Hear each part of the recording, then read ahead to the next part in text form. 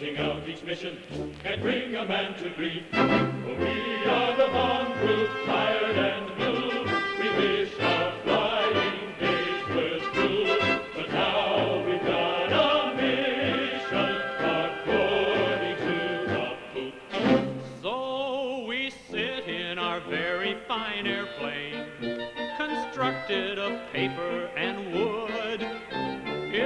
Okay for lugging cheap whiskey, but for combat it just ain't no good. And if you should get in a pickle and don't know the right way to turn, that's when you reach up on the dashboard, spin, crash, and burn. Early in the morning when the engines start to roar, you can see the old goat standing in the operations door. He'll be sweating out the takeoff as he always has before. Safe behind his armor-plated desk, take 'em off, You can hear him in the briefing as he stands back in the rear. Though the runway's sucked in solid, still the targets may be clear. You've been here for 20 months, boys, but you've got another year. Says the man behind the armor-plated desk, take 'em off, take off, take off. When the lead ship starts to shudder and the end seems close at hand, who is flying on the sofa with his headset on command? Who yells, climb up on top, boys, with a highball in his hands? The man behind the armor-plated desk, take 'em off, take off, take off. Four times he's let us up there and he's always let us back. For he'd circle o'er the IP as we went into attack. He says I'm hard yet fair, men, but allergic to ack-ack. The man behind the armor-plated desk. When our mission days are over and we all go up the drain, you can look around the airfield, but your search will be in vain. For we all will be in London getting drunk and raising Cain, like the man behind the armor-plated desk. The man behind the armor-plated desk. This program, this symposium is one of the many projects sponsored by the uh, 8th Air Force Memorial Museum Foundation. Now, as you know, this is the 12th annual symposium that we have sponsored. Everyone has been a success. I predict that this particular symposium on escape and evasion will go down as the largest attended one and also the best. Bob?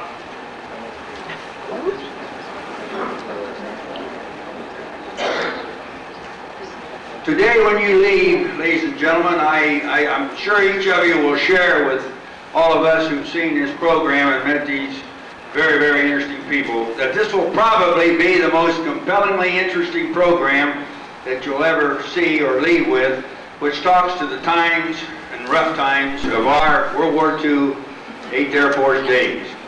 Without further ado, I know the gentleman that I'm about to introduce needs no introduction to any or all of us. Our esteemed historian, the mighty eighth author, Mr. Roger Freeman. Roger.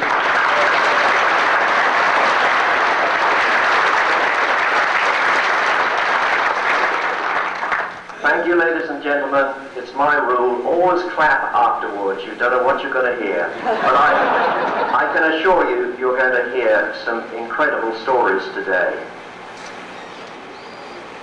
In fact, I have no hesitation in saying that you are going to meet some of the most courageous and resourceful individuals of your generation.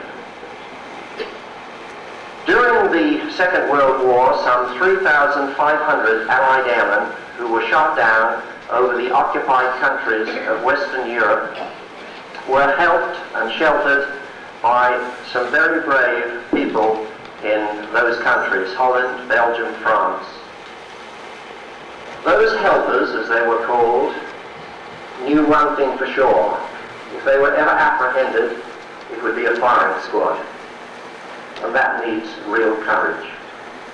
And this is really what today's symposium is about. Now I'm going to introduce you to Ralph Patton, who was the first president of the Air Force Escape and Evasion Society, an organization which over the years has done a great deal to keep alive the memory and the deeds of those brave people in the occupied countries. Ralph was shot down himself on the 5th of January 1944 and was with the French underground for roughly two and a half months until the British sailed him out back to England. But Ralph will tell you his own tale. Ralph, the stage is yours.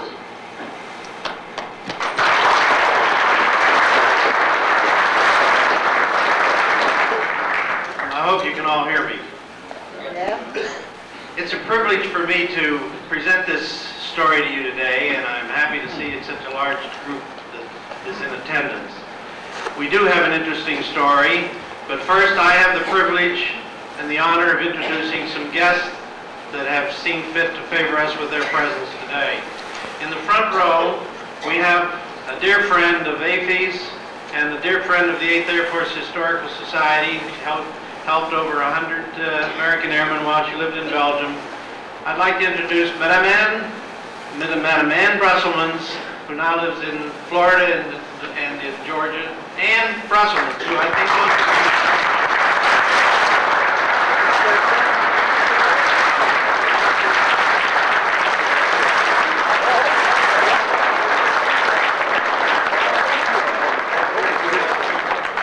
Several, several of the airmen she helped are in the audience.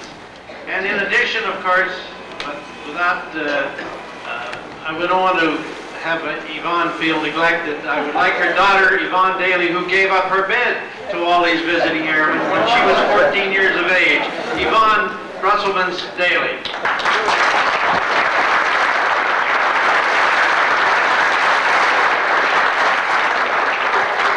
In addition, we are privileged to have in the audience uh, six Belgians who are on a visit to the United States courtesy of Leland Smith over in Lexington.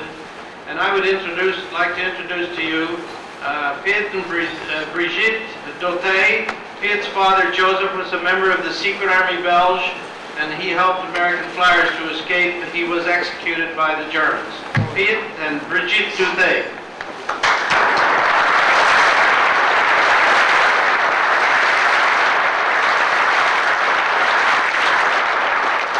In addition, we have Paul and Francoise Wendels.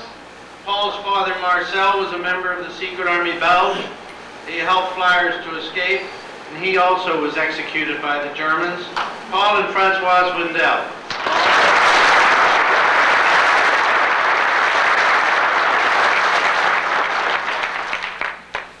In addition, we have Raoul and Maria Steyart, who from Belgium, and Raoul was a member of the Secret Army Belge.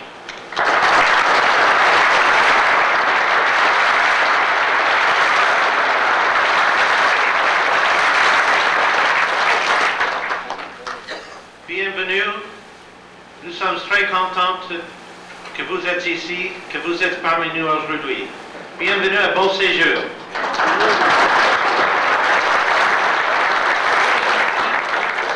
In addition, we're very fortunate to have with us a man that has helped me in putting together this program, a chap uh, who was a member of the intelligence service in the United States Air Forces in Europe, born in Sweden, came to the United States at 17.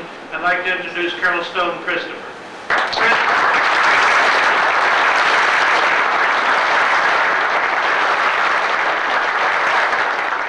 We have another friend in the audience who is, was uh, married to one of our panelists, and I'd like to introduce Colonel Roger Files, who was a fighter pilot, but fortunately or unfortunately not with the 8th Air Force. Colonel Files.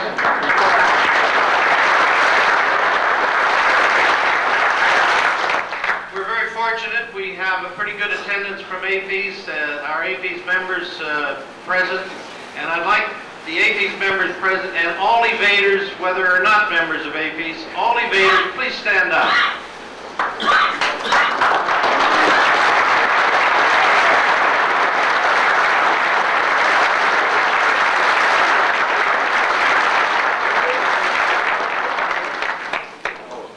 And now if we could have the lights, uh, please, we'll proceed on course here, I hope on course. I'm going to tell you a little bit about AFEES. We tried to find an acronym, but we couldn't come up with anything that was suitable. So the Air Force's Escape and Evasion Society was formed in 1964 as a result of 30, a meeting of 35 American airmen who had been shot down in western France and came out by means of Operation Bonaparte. Of course, at the time, we didn't know anything about what Operation Bonaparte was, but we knew a couple of the leaders. And we invited the leaders of the Réseau to Buffalo, New York in 1964. On the left is uh, Raymond radio operator. We're, you're losing me, or I'm losing you?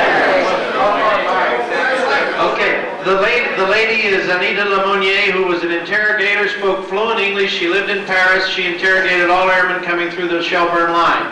The little chap in the middle is Captain Lucien Dumais, who was a sergeant major in the Fusiliers Montreal and uh, was captured at Dieppe, escaped and got back to England, volunteered to go back into France to set up Réseau Shelburne. The man on the right is Mathieu de Branchou, who was a resistance leader, World War I veteran, and he organized the resistance in the town of Guingamp in western France.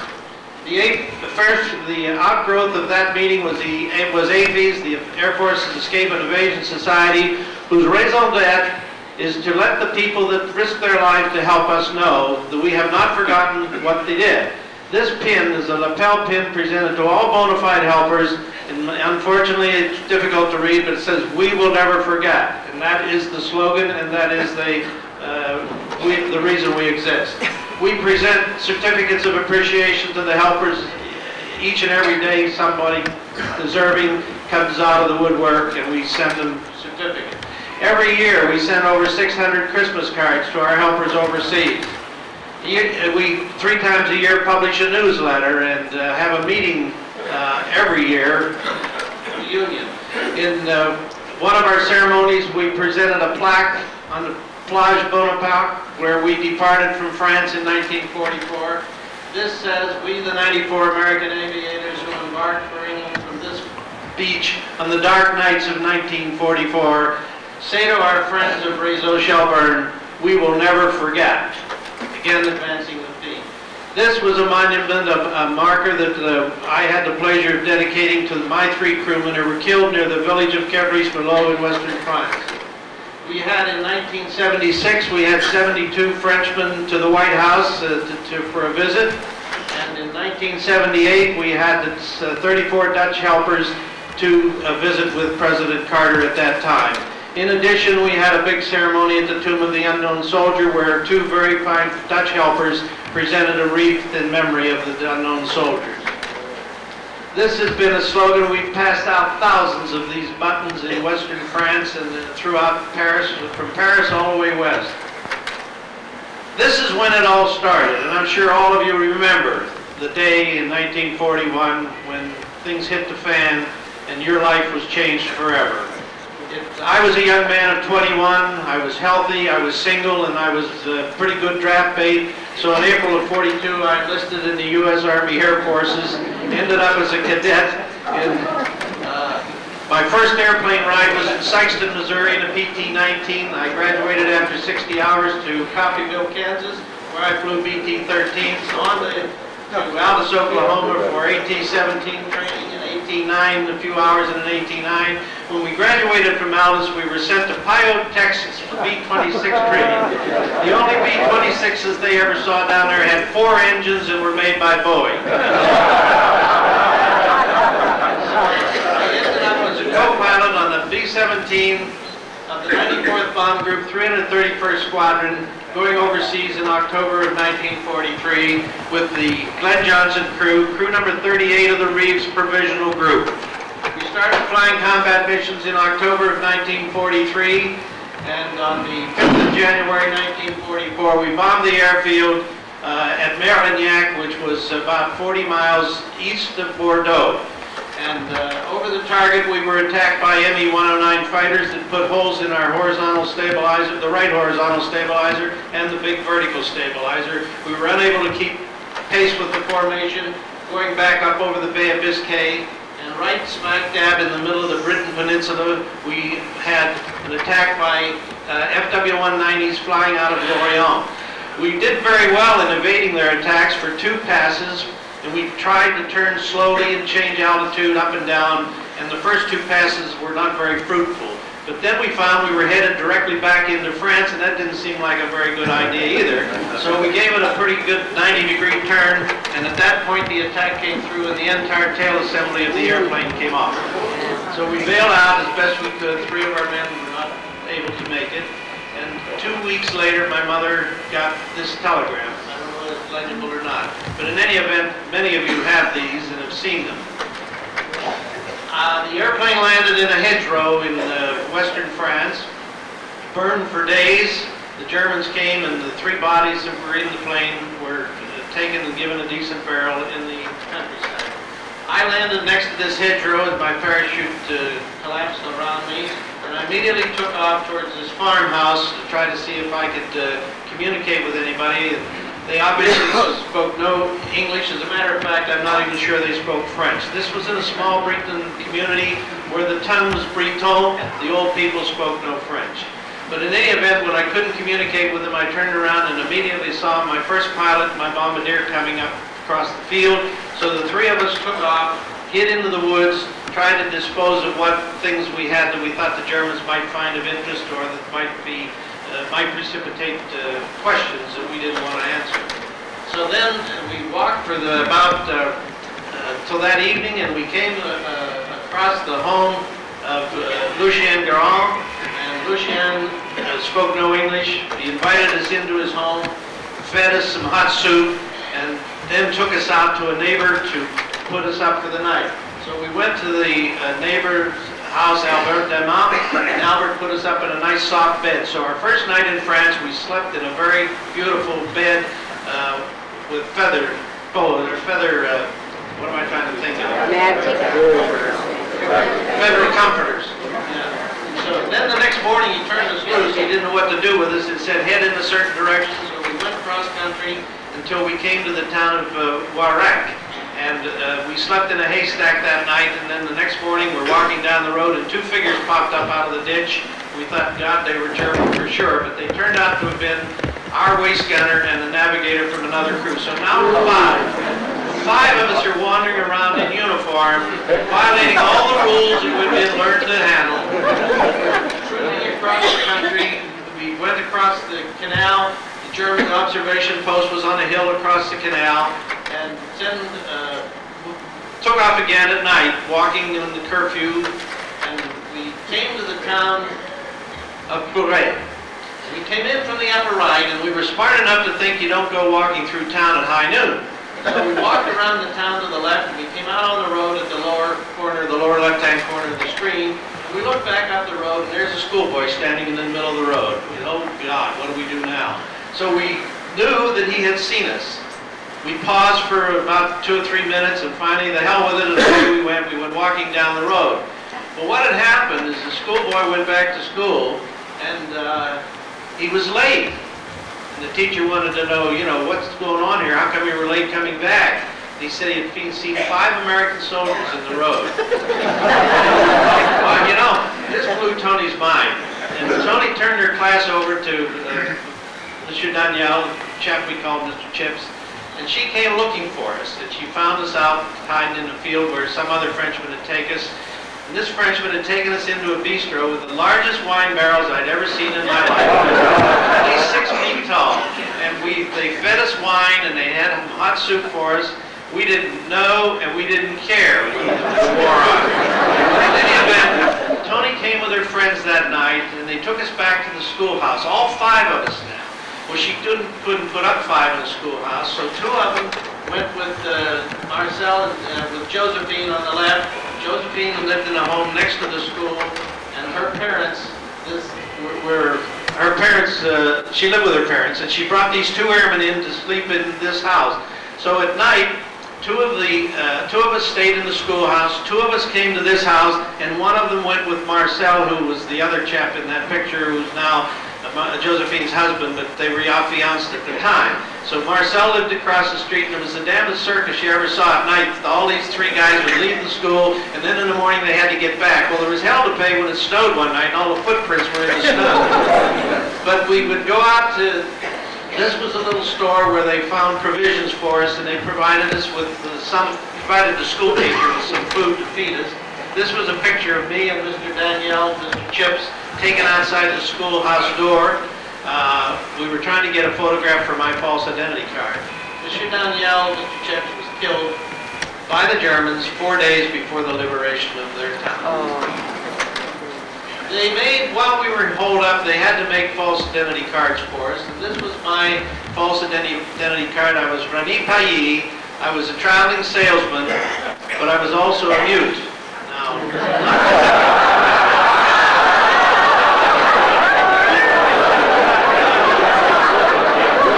They also had to provide a card in German for us so that if we went through the, uh, the patrols, that we had the right to be in the uh, forbidden zone around the coast. These are the, some of the cards, they stole all the damn rubber stamps they could find in the various mayories and in the offices and so forth. And this, after the uh, liberation, they made a, uh, they took all these rubber stamps and made a composite of it, so that's what they have there. All the time we're hiding here, five weeks now, five of us are in this neighborhood of the schoolhouse. And the Germans are posting the warning signs. Warning. Ibis is warning all persons of the masculine sex who aid directly or indirectly the crews of aircraft coming down in parachute or making a forced landing or hiding them in any manner will be shot in the field.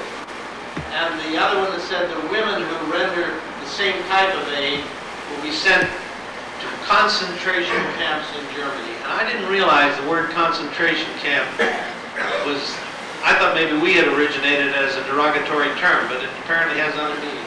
But these warning signs were posted all throughout the occupied country. A bit of passive resistance that always just tickled the hell out of me. I would see they, they gave me these uh, French uh, 20 franc notes, and they would cut the head of Hitler out of a postage stamp, and then put it in, cut a little slit in the rope, and insert it in the rope, and then circulate it. And I had, I brought this one back with me, and I know another evader who has one also, so it, was something that was not uncommon. And while, while we were in hiding, some of you guys were up there dropping letters and, and uh, newspapers to them, and uh, here they're saying the RAF and, and the USF Can't hear you. the RAF and the USAF dropped over 6,000 tons of bomb uh, in the, in the lower there. In two years, the 8th U.S. Air Force has shot down 3,385 German aircraft. So we, uh, we, we had our own propaganda. We were trying to communicate to the French uh, what was going on in the real world. After five weeks, wiser heads prevailed. They decided that it was stupid and risky to, for us to be holed up in this same village. So they split us up, and two of us went to the little bistro about two and a half miles down the road. I stayed in this place for two weeks with another chap, and very seldom ever got out of the house. After two weeks, then we were moved. Well, this was the owner of the bar. This is uh, uh, Jean Vialot on the right, his wife Francine. They had been married I think about two weeks when I arrived there and my friend arrived. And her sister Yvonne were the ones that kept us there for the two-week period.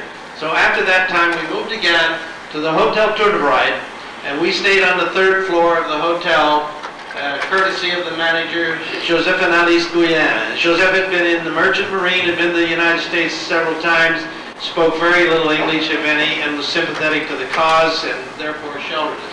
Two more weeks at the hotel, they decided to move us again, and we went to the town of Blankenette, where Ilya Germain met us, and then he escorted us out into the country to a small farmhouse inhabited by a little old lady and her two sons.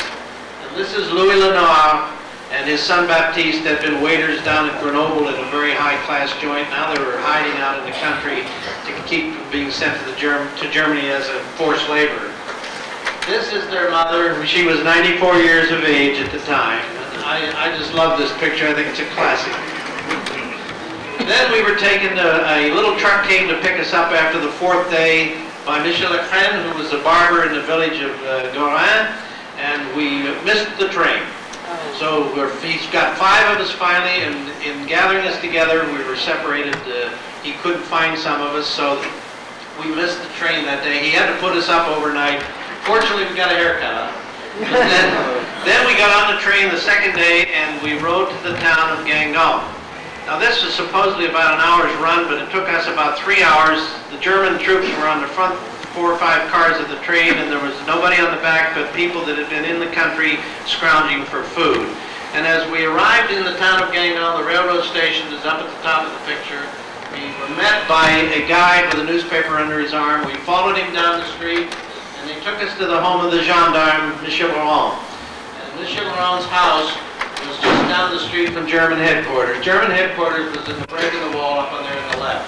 We would sit in the window above the garage and watch the German troops going by. For two days we were there until people came. That one night, Francois Caliveron came in his little gasogen, which was a charcoal burning truck rigged up. It was a regular truck rigged up to burn charcoal. They came and they listened to the BBC at 7 o'clock. And of course, I, not speaking any French at the time, knew nothing of what they were looking for or what they were saying. But the BBC broadcast a code message. Bonjour à tout le monde de la Maison d'Alphonse. Good evening to everyone in the house of Alphonse. This meant that the British motor gunboat had departed from Dartmouth in the southern part of England and was headed across the channel. The mission was on. All systems are go. So with Francois was uh, Georges Lecune, who was part of the resistance in Guingamp. And we then uh, Francois took us by truck about 25 kilometers to the town of Plouha. And here Francois Le Cornec was the chief of the réseau in, in uh, Brittany, and uh, he was under the direction of Lucien Dumais, the Canadian officer. And one of the workers in this group was Maria Therese Le Calvez, who tireless worker. She escorted airmen to the beach. She met them at the railroad station. She fed them in her home, kept them with her. She and her mother, I think, sheltered about 20 airmen in her home at one time. This is Jean Gicquel. Jean Gicquel was a small, was a, had a small farm right near the coast, and Jean and his wife. This was the last meeting place of the airmen. And when I went through there, there were 26 of us departing that coast, and we all met in La Maison d'Alphonse. There are no pictures of it. The Germans burned it down because they assumed that there was some activity going on. They couldn't hang anybody with it, so they just burnt the place down. Outside the Maison d'Alphonse, there was a field, and Joe Mainguy, who had been a naval, or he had been a merchant marine captain. Joe and his friend Pierre Huet spent two days on their hands and knees searching out the mines on the path between the Maison d'Alphonse and the beach.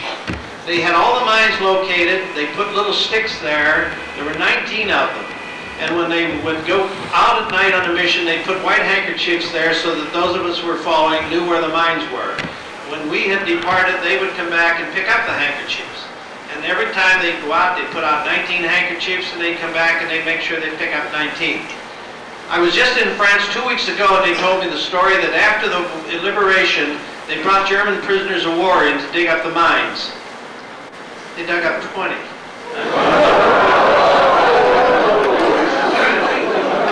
This was the beautiful beach in western France where the motor gunboat came in to pick us up. This is the cliff that we all came down and we sat on the rocks on the right-hand side of the picture, looking out to the ocean, no moon, no stars, pitch black, German coastal defense batteries on either side. And when the batteries opened fire, it was like daylight, and we thought sure as hell that they'd sunk our boat out there. But no, after about three hours, the boat finally came. Little rowboats came in on the swell, and we climbed on board. The British sailors rowed us out about uh, a mile or so at sea to pick up MGB 503. And the 503 boat was the one used in most of these missions, and it uh, was a high-speed boat, pretty well armed. And en route back to England, we ran into six German E-boats, and the guy said, come on, we, we were all below deck. And they said, well, come on up, we want to see a good show up here. We had the hell with that noise. so we outran or out-evaded the German E-boats, and four hours later we ended up in the town of Dartmouth in southern England, safe and sound. Now, when we got back, we started to learn a little bit about what happened. We had a picture taken of the five of us. How did that happen?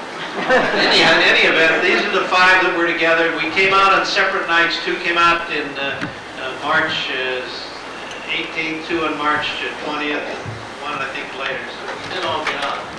But then my mother received a telegram at, at that, after uh, I had been back in England two weeks, and all they knew was I was back on duty, back on active. Big deal. Everybody was thrilled to know that. I found out that had been in the hands of Réseau Shelburne. And I also found out that Réseau Shelburne was headed by Lucien Dumais, Sergeant Major, Fusiliers Montreal, and he had been captured at Dieppe, got off the, uh, jumped off the train, made his way to southern France, and was and escaped from southern France by the uh, O'Leary escape line. I'll tell you a little bit more about it later. Second in command was Raymond Labrosse, who was a radio operator. Raymond Labrosse had been in France earlier as part of the Val Williams line, and that was compromised, and he had to flee out of France uh, over the Pyrenees Mountains, came back into England, volunteered to go back into France to help set up Réseau Shelburne, which turned out to be the most successful operation of its kind of World War II. They never lost an agent, they never lost a package. MI9 was the vehicle behind all of this. We didn't know it at the time, but this was Brigadier Norman Crockatt, who was in charge of all the uh, E&E operations. They set up things. He was ably assisted by a chap by the name of Airey Neave, who became a member of Parliament and a member of Margaret Thatcher's government, and lost his life in a bomb in the parking garage at the Parliament. In addition to that was Jimmy Langley, who lost an arm at Dunkirk, and he wanted to stay in the Army, stayed in the intelligence service and worked in setting up MI9. And the American intelligence sections worked with MI9, and perhaps Dorothy Smith will tell you more about that later. But in anything, there was the Pat O'Leary line.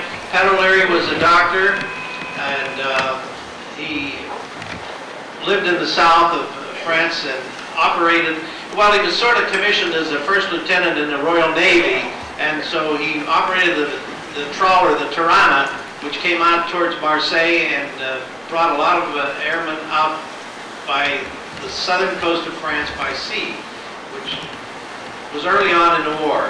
So that O'Leary turned out to be Major General Albert Guérisse of the Belgian Medical Corps. He has since died within the last three or four years.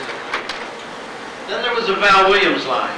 This was under the direction of uh, Vladimir Bouryschkine, uh, and the line was broken in June of 43 when its leader and a party of airmen were arrested near Pau in the shadow of the Pyrenees Mountains.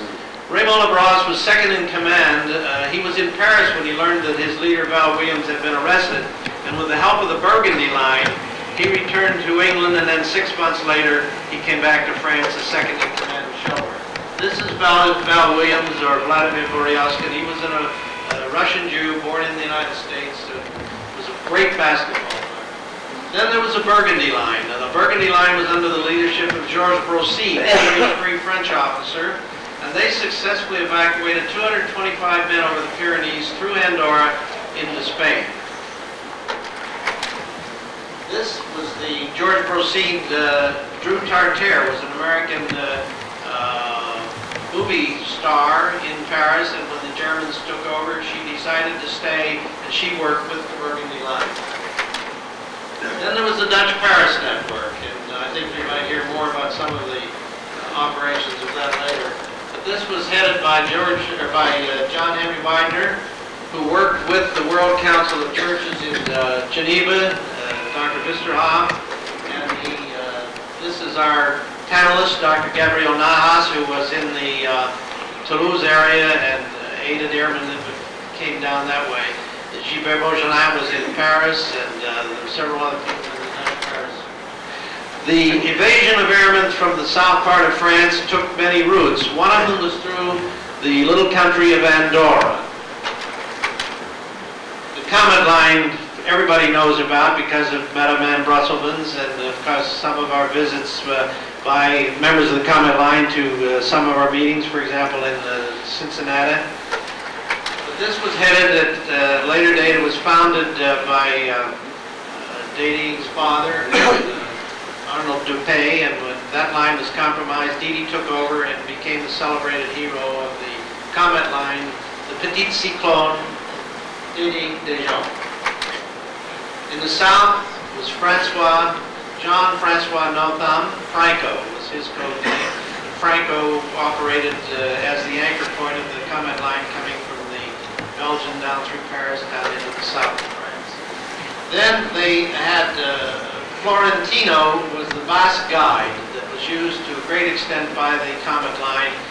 Florentino knew the paths over the mountains and he led many an aviator over the mountains. Perhaps somebody in this room, I don't know. This was the rugged Pyrenees Mountains that these guys had to navigate at one time or another. I hope somebody will tell you more about the perils of the crossing these mountains into Spain.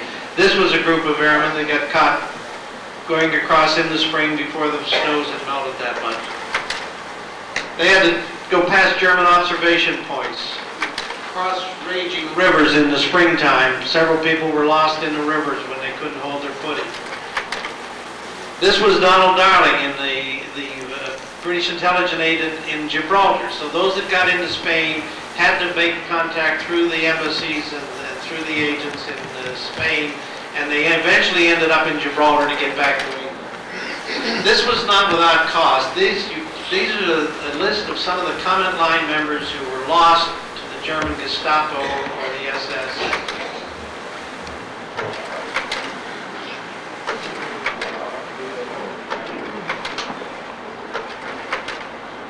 Many, many books have been written about escape and evasion, and I'm just going to show you a few of them. This is Jimmy Langley's book. This was a Women in the Resistance was a book that AFEES cooperated with the with Dr. Rossiter for several years in publishing this book. We wanted to ensure that the women of the resistance got their proper due. This is before we learned to not be male chauvinists. This book tells its own story. This is a book by Harry Dolph, the editor of our AFEES newsletter.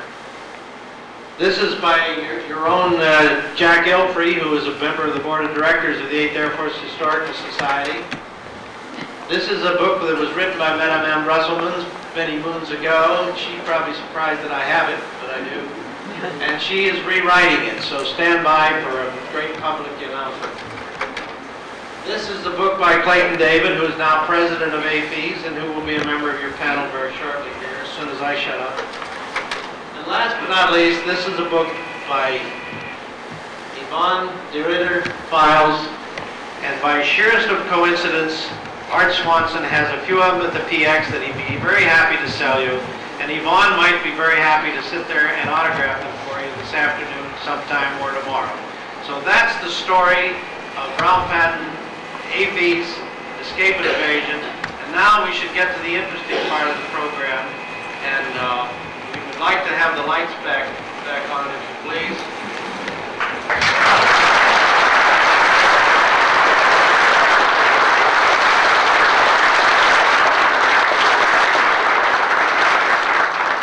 Now I'd like to bring our panelists up. We have them all seated in the front row here, and uh, we wanted them to see the show also, now we'll bring them up.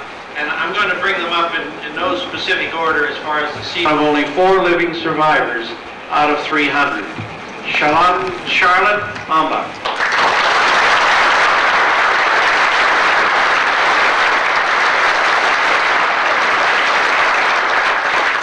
I would now like to ask Yvonne de Ridder Files uh, to come up, please. Yvonne now lives in Topanga, California.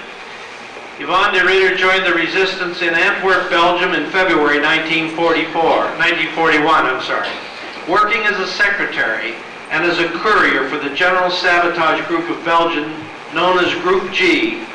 She later was involved in sabotaging German vehicles and distributing mimeographed underground publications. She started providing shelter to evading Allied airmen in the spring of 1943. Arrested by the SS in late 1944, she was sentenced to be hanged. She was freed when the advancing Allied armies liberated Antwerp. Yvonne de Ridder Files. Now living in Englewood, New Jersey, is a Kentucky colonel appointed by the governor of Kentucky several years ago. All you Kentuckians, salute your colonel.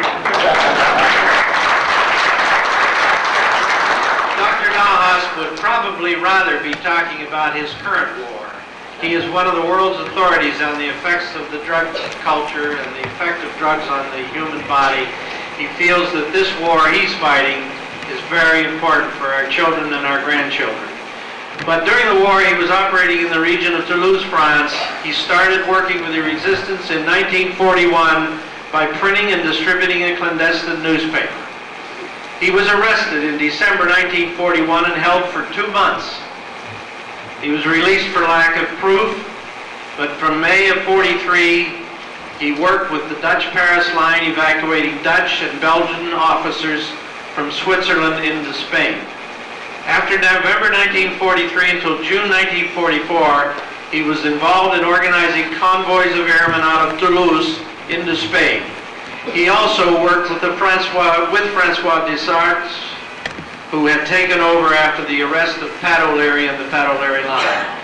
They were helping British and American airmen to evade capture.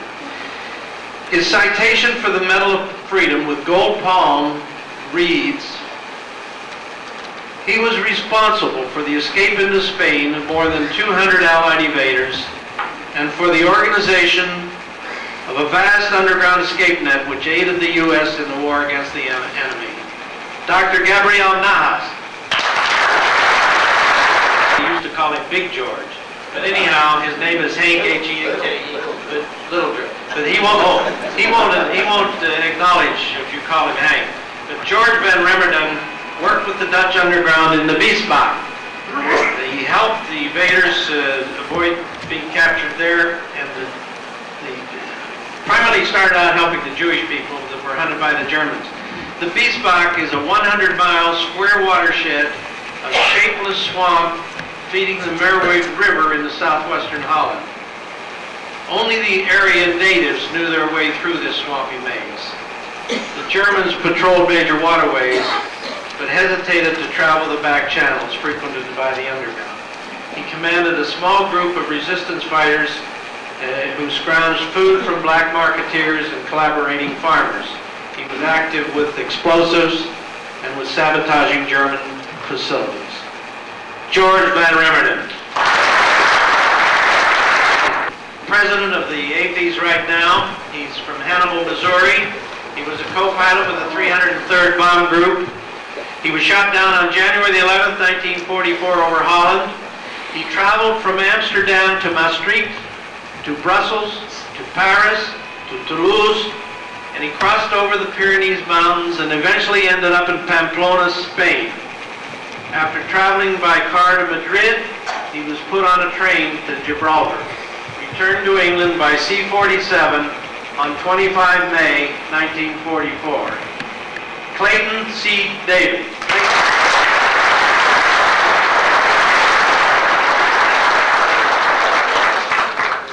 Mr. Lee Gordon. I never knew his name was Lee, but Shorty Gordon, come on up. Shorty now lives in Australia, and he came here for this symposium, and he's going back within a few days. But Shorty was a gunner with the 305th Bomb Group. He was shot down on the 26th of February 1943 uh, near Wilhelmshaven. He was taken prisoner and sent to Dulag Luft, then to Stalag 8B, Stalag 7A, 5A, 5B.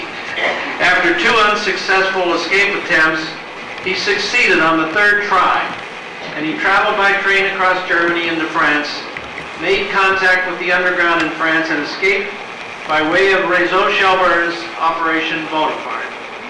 Shorty Gordon is, to our knowledge, the only American airman ever to escape from a German POW camp in Germany and return to England prior to D-Day. Shorty Gordon, San Antonio, Texas. He's a rated officer, but he was acting in the command capacity when he fly, flying a mission on the 22nd of February 1944. He flew with the 303rd Bomb Group, and he landed near Duffel, Belgium, and made his way to Switzerland. He escaped back into France intending to cross the Pyrenees into Spain. Established contact with a French resistance group at Avignon in southeast central France, and he organized a battalion of Maquis who were primarily engaged in interdiction of railroads and bombing of railroads. He remained with the Maquis until September 1944 when the U.S. 7th Army liberated the area. George, Colonel George Weinbrenner, spent his career with the intelligence service, retired several years ago as a full colonel. Now I'd like Dorothy Smith Hunting to come up. Dorothy Smith was WAC captain in the intelligence service in England. Many of our members met her during the war and were interrogated by her. She has a lot of interesting things to tell us. Captain Smith was located in PW&X headquarters on, on Brook Street at the end of the war, was responsible for interrogating a number of evading, evading airmen. After the liberation of Paris, she moved to Paris to help organize the recognition and the awarding of medals to deserving members of the underground who helped America's airmen. Dorothy Smith Hunting. Dorothy.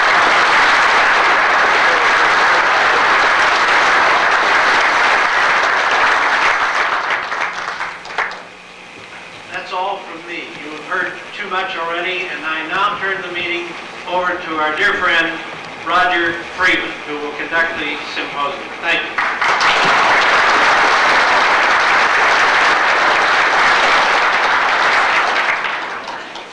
Well, ladies and gentlemen, we'll now have the stories of the individuals who are, are up here, the panelists. And I think we'll start with the gentleman right at the end on my right, George Ramadan. And in fact, I must apologize that my Anglo-Saxon pronunciation may play havoc with some of these names. but I think you know who I mean. And I apologize for missing out the van. I've just been reminded. So that's a very good start. But if you'll forgive me, George, would you like to tell us your story, or as much as you can, within about five minutes? Good. Can you hear me? Yeah. Uh, you've heard how several airmen were escorted by us. I did some of that too with a girl by the name of Jan. But we also did something else that some of you might not know about. Uh, I think all of you have heard of Market Garden, which started, I think, the 17th of September in 1944, when the uh, plan by Montgomery, when they, they called it the Van Fire, I think, because it went not the way it was supposed to go. some of you guys made it back, some of them did not. Some of them were wounded and were taken to an hospital in Utrecht. And I was doing my work in between Utrecht and Arnhem, not too far from Utrecht anyway. So we got some of the wounded were treated there, and after the wounds were healed, they were sent back to Germany in a prisoner of war camp we got some information and contact with the administration of the hospital and also the one that kept the books. And when they were about to be sent to Germany, instead they scattered them out of the books and we picked them up on our bicycles and took them out of Utrecht to a place where they would later be cast or stay there till the end of the war. So one day we took out, the girl and I, we took out two Americans two British and one Dutchman. Uh, normally we would take a road through farmland so we wouldn't meet too many Germans on the way back. So this this day we got kind of lost in Utrecht and we ended up, we exited Utrecht, Utrecht and the main road to Arnhem, but there was a lot of German traffic. So we, I stopped, I was taking the film, then came the two Americans, then the girl, two Englishmen, and then the Dutchman at, at the end. So I said, what shall we do? Should we go back and find the old road or shall we keep going? We decided to keep going. We went towards a city like Zeist. Nothing happened. We turned left to take a back road from there. The Americans followed me. The two English and the girl followed me. The Dutchman didn't see us turn left and he kept going. We already knew that the Dutchman had been parachuted into France earlier that year or the year before and worked with the Maquis in France. So he knew a little bit about the Maquis, and apparently they had a battle song, and he knew about that battle song. The girl that worked with me, Jan, she also knew that battle song, but it was coming handy later. We brought the four, the two Americans and the two British to the place where we supposed to bring them, and then the girl went back and traced the road where the Dutchman had gone. She, she rode about 10 kilometers on her bicycle kept whistling the song, the battle song of the Maquis. Anyway, a song that she knew the Dutchman knew also. And all of a sudden out of the bush bush on the side of the road that was dark already, he came back to say whistle, and he found the guy that, that way and brought him back to the way, to the place he was supposed to go. So it was quite an exciting story. Well, many of them, but I get only five minutes, so I guess I'll...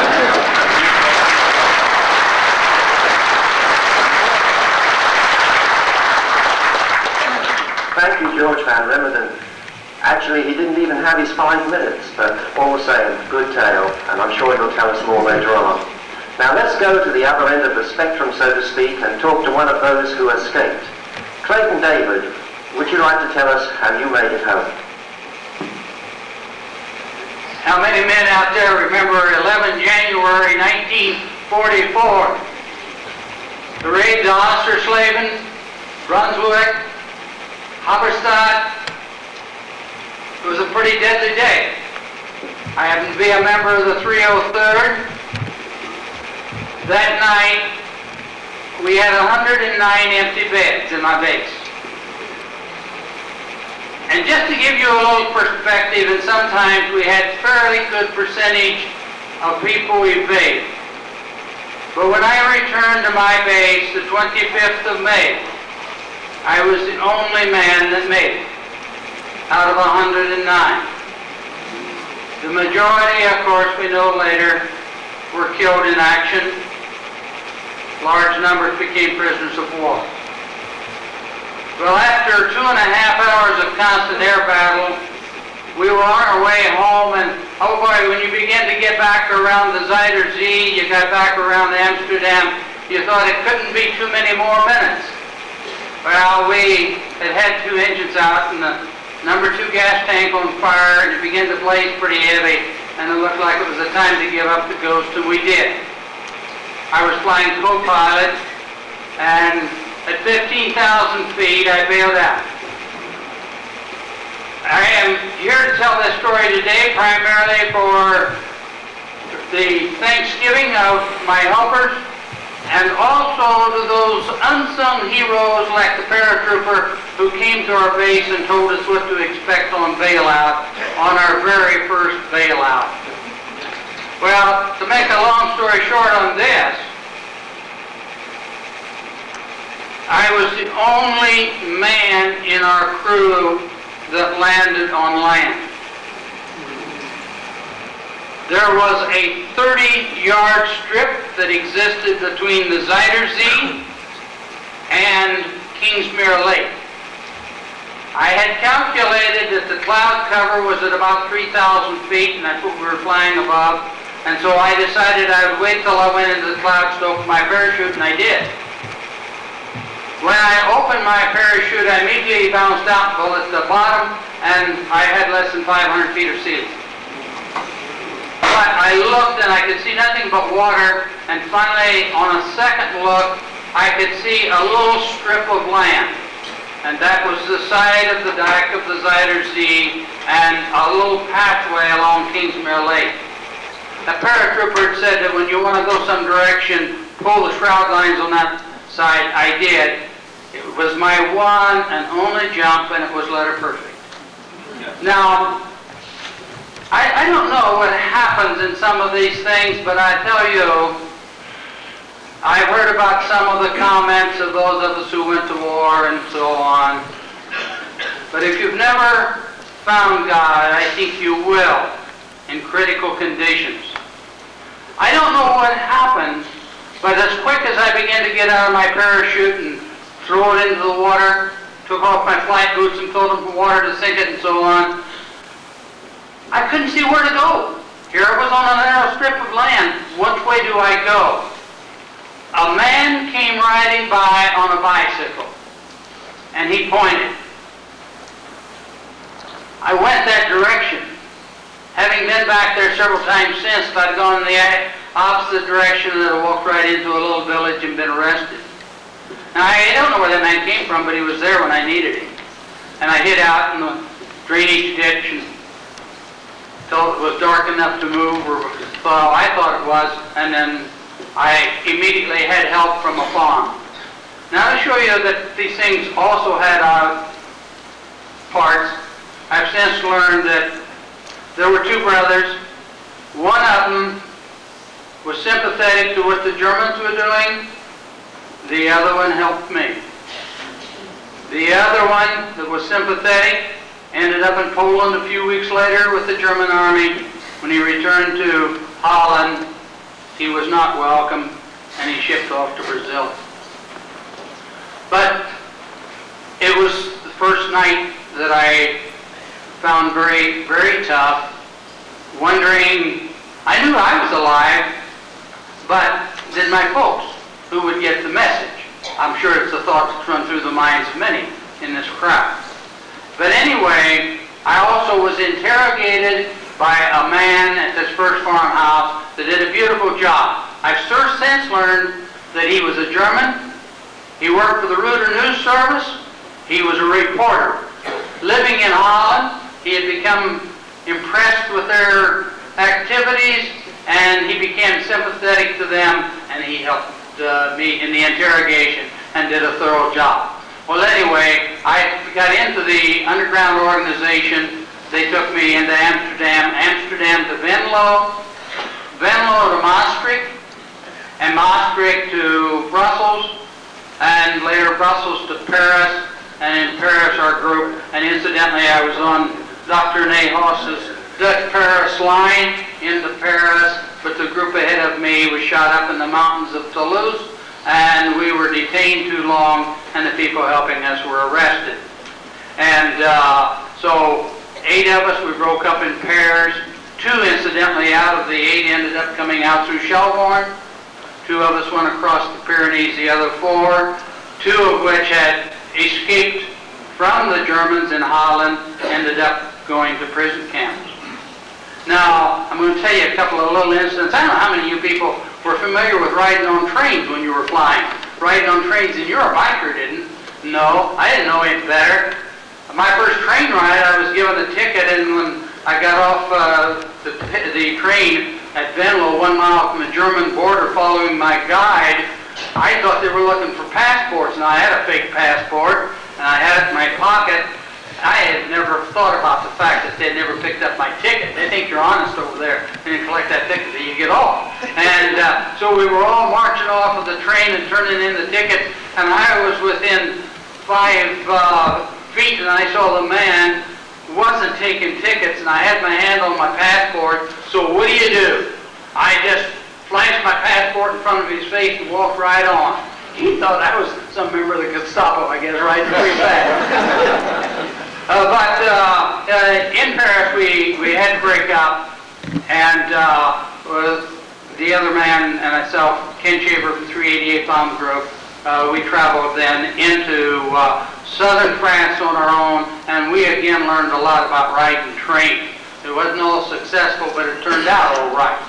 And we finally ended up in the mountains of central France, where some people helped us, later put us in touch with a group of the Maquis, and we were sent there for a period of time, received uh, parachute drops at night, and then they were distributed arms and ammunition.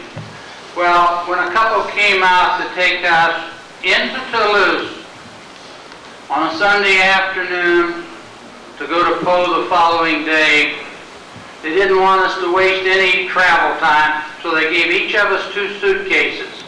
We carried, and I don't think too many did this, we carried two suitcases into Toulouse, two apiece, and they were filled with hand grenades, machine guns, whatever ammunition and so forth that was to be distributed. So that turned out to be a little interesting experience. Uh, the, uh, uh, then we went to, uh, to Pau, and Pau went out into the mountains and had a uh, fast guide. And of course, that's a forbidden zone that you got into out there. The only people that had a right to be in the zone lived in the zone, and that was the treacherous area. I've since learned there were four of us crossed together, and that composition of four was Ken Shaver, the airman, was with me, a French courier who had been dropped in, made his delivery and his contacts, walked through the mountains into Spain, back to back to England, uh, and he was on his third trip. Uh, the fourth person was a Spanish deserter from the Civil War who had hidden out in France and was on his way back to, uh, to Spain and he paid his own way. And uh, so it was kind of a, an interesting tie-in. I have since learned that of those of us who made it to the foot of the Pyrenees, which we thought was quite an achievement, that there was somewhere between one half and two-thirds of us that got through into Spain. The rest either were captured or something happened to them. And some good percentage just were not physically able to make it and gave it. I ran over, excuse me. Thank you, Clayton, very much indeed.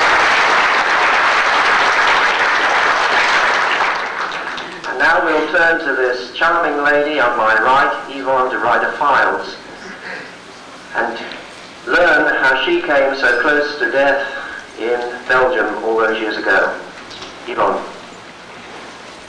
Ladies and gentlemen, before anything else, let me tell you, gentlemen of the 8th Air Force, that the sight of your squadron after squadron of bombers flying high up in the sky over my home in Antwerp, Belgium, on their way to bomb Germany, filled me with such excitement and feeling of gratefulness toward you. Give it to them, boys. Give it to them, was our cry. My husband, Lieutenant Colonel Roger Files, U.S. Air Force career officer, fighter pilot, now retired, who is here with me, is not as so many assume, one of those I hid in my home in Antwerp. no, he didn't fly out of England. He was fighting in the Mediterranean theater and earned many medals, including the Silver Star. I was involved, as you've heard, since January 1941 in espionage. Then sabotage, as a member of the General Sabotage Group of Belgium, known as Group G storing and delivering explosives to the men whenever and wherever they were needed. You can easily imagine that I had several close calls. But the biggest thrill in my three and a half years of resistance work was in the last year, sheltering Allied airmen. The first delivery consisted of two Royal Air Force and one Royal Canadian Air Force. Now, before I go any further, it is important I give you a sketch of my location. My apartment was on the top floor of a three-story home, one block away from three connecting magnificent park, a beautiful residential area on the outskirts of Antwerp. Now, the Germans thought so too, judging by the fact that they occupied many of the big apartment houses all around me. So the coming and going of the Luftwaffe personnel was constant on the sidewalk below. I have a photo I treasure and which is reproduced in my book, which shows my three first evaders standing at my picture window, watching from behind the curtains the Luftwaffe personnel on that sidewalk. The second flyboys entrusted to my care consisted of one New Zealander, RAF fighter pilot Max McGregor, and Lou Rabinovitz of New York, U.S. Air Force. Two magnificent subjects for a study in differing human characteristics.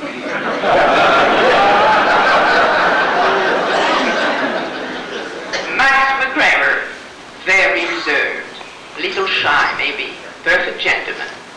Lou, the typical New Yorker, I guess. Extrovert, joker, he was a riot. During his stay, he brought me the most laughter of my four years of German occupation. Of course, another joy was my reunion with Lou 11 years later in February 1955 on the This Is Your Life show. Ralph Edwards, the producer, had read an article relating the ceremony at the British Consulate General where I was awarded the King's Medal for Courage in the Cause of Freedom bestowed upon me by the Queen. He immediately had sprung into action and three weeks later, under a false pretense, here I was at the El Capitan Theater in Hollywood, taken out of the audience, brought on stage. Ralph Edwards brought on as surprises on the show three of the airmen I had sheltered, among them Lou Rabinovich.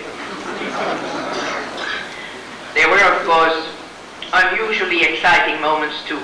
For instance, when, to calm the nerves of two evaders who had been stopped by the Gestapo and asked for their identity papers just as they drove into my street. I took them that evening for a walk through the park. As I mentioned before, these parks were just one short block from my apartment. By the way, these two men, in addition to the anxiety of the encounter with the Gestapo at my corner, had, in the shelter where they came from somewhere in Brussels, been obliged for five days to remain locked up in one room, forbidden to move around, and could only speak in a whisper. So you can imagine their nerves were understandably quite raw. Now picture us three, walking arm in arm down the narrow park lane and constantly crossing paths with Luftwaffe personnel who greeted us with Guten Abend, Guten Abend, as they passed by. Well, we three returned the courtesy with our own Guten Abend. The comic of the situation brought laughter to the boys and a return to a comparative calm. The day I was notified by a breathless resistance emissary that I had been betrayed and that, quote, they would come to arrest me in an hour, I had five airmen in my home. I have only five minutes, so can't go into it here. It is all detailed, of course, in my book. But as you can imagine, this was one of my most dramatic moments. I don't think the shock here was even surpassed by the one the day of my actual arrest. Several weeks later, after having been in hiding, the Germans did catch up with me, and I was arrested. I was placed in solitary confinement, but taken out daily for interrogation. no need for me to go into details about these. You have read many accounts of them. I was condemned to be hanged, but thanks to the swift advance of the Allied forces, was liberated 10 days before the execution day, giving me the pleasure of being here with you today. Thank you.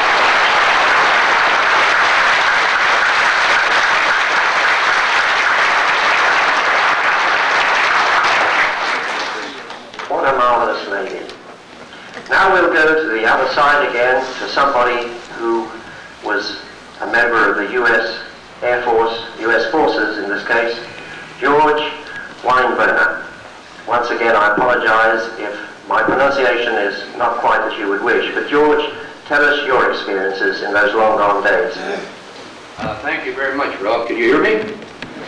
I'm certainly honored to be here, and like my friend Clayton, my main purpose in accepting was to give public thanks, public recognition. Closer? Okay. To give public recognition to the French and the Belgian people who were responsible for my being able to be here today with you. Uh, like our friend here on the right, uh, I got shot down on the way back from Oschersleben. Shot down over Belgium. I spent only one night in Belgium.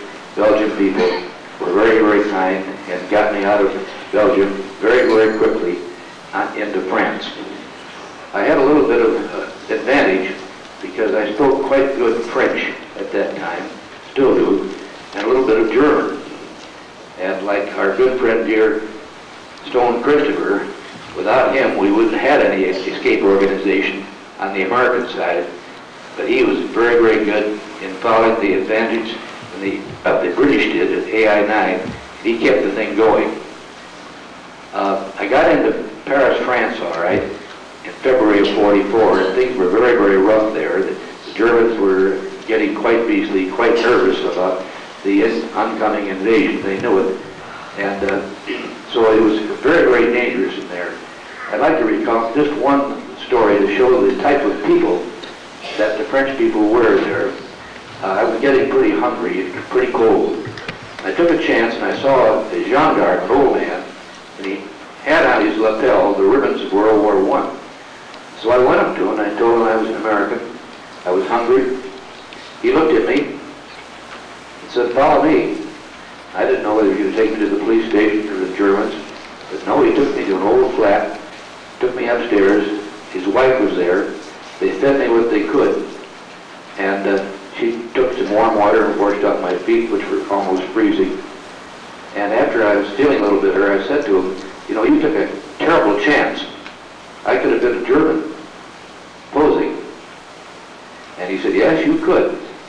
But if we'd have found out later that you actually were an American and we had refused you help, we would have died of embarrassment. That's the type of people we had. Well, carrying on, I was able to get on a train and I went down to the Swiss frontier and uh, knowing the language and having toured the country before the war, I got into Switzerland all right. And I got on the telephone from the local priest and called the U.S. Embassy in Bern. Boy, I thought, I've got it made. And I talked to a young attache at the embassy and I told him who I was. And uh, I said, come and get me. And he said, you are instructed to go to the Swiss police, turn yourself in, and you'll be interned at Montreux for the rest of the war. I didn't believe what I was hearing. So I, I told him in under certain words that what I thought of his ancestry. Turned around, talked to this old uh, Swiss priest, and I said, I'm going to head back and try to get to the Pyrenees. And he said, God bless you, son. I don't think you'll make it, but you ought to try. so went back, and sure enough, on the way back into France, the French police picked me up. And uh, they were curious as all hell about me. And uh, they uh, threw me in a, a, dungeon. I was in that damn thing for about, uh, about a week. But they were feeding me pretty well. And I thought, oh, there's something wrong here. See? And uh, kept telling them that I was an American. Well, they didn't believe that. But they fed me pretty well. And they took my shoes away. You know, thought I'd take, go out on the layup. And uh, finally, on the seventh or eighth day, a young Frenchman came in dressed in the uniform of the Alpine Chasseurs. Was a lieutenant. And he asked me a few questions, and I answered correctly, and he stood up and saluted and said, Welcome to France. well, uh, things were getting still worse. So I was advised by this lieutenant to try to head for the central, central of France, where Clayton was there. And I, I did. I went down to Auvergne, right in the Massif Central, and I thought I'd run into a lot of resist, resistance people. Well, unfortunately, uh, in that mountainous region, they weren't very, very well organized. And uh, I had no trouble getting food or getting help from any of the local people, primarily uh, farm people, peasants, but there was no organiz organized at all. One day, I got a message from one of the Frenchmen, and he said, there is a, either a British or an American up in the next village, Issoire, not too far from here. And I said, you sure he's British or American? He said, we don't know. So I went up and uh, outside the little beach where it was, I listened to him speaking. And he was speaking French, but, but sure as hell wasn't a, uh, an Englishman. At least it didn't sound like it. And uh, sure enough, when the guy came on, I grabbed him. And it turned out to be an OSS officer by the name of Rene Dussaq. He was killed later. And uh, he was an Argentine serving in the U.S. OSS. So uh, I asked him if he could get a message back to uh, England for me. And he said, yes. He said, I, I can uh, talk to Allied Force headquarters. All I wanted to do was let my mother and father know I was safe.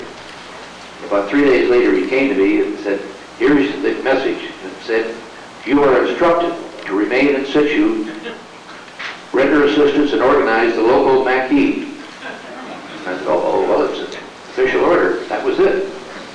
And a few days later, they brought a, a Britisher to him. You saw his pictures, and I had Ralph had it, Harry Need.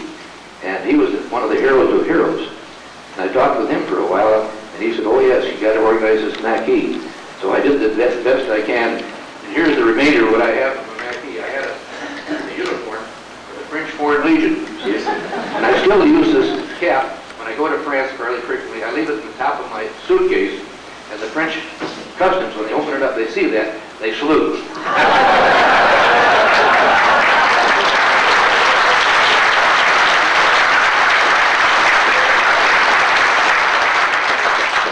Anyhow, we did try to organize a, a Maquis battalion, and because of my language ability, Uh, I was able to get them together. These were farm boys.